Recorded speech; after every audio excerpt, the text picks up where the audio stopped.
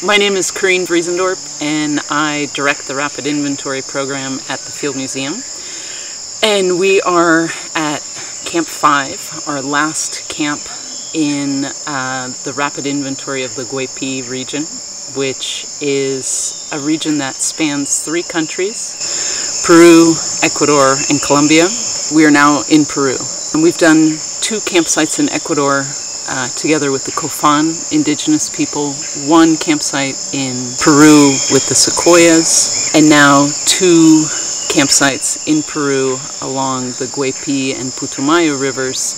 So we've actually spanned two countries, worked with uh, a handful of indigenous groups. We have scientists from Ecuador, scientists from Peru, scientists from the US, this um, has been an incredible team effort. Um, I should point out that none of these inventories work without having a great, great team. We have um, the advanced team that goes in early and sets up the camps. We have uh, the team of scientists, and these are a real mix of people who are experts who have spent 20, 30, 40 years in the tropics, and people who um, know perhaps an area locally very well and are just starting out. Um, and that mix of, of expertise, people who know the local flora and then people who know the broader context of the Amazon basin, is what makes these inventories happen.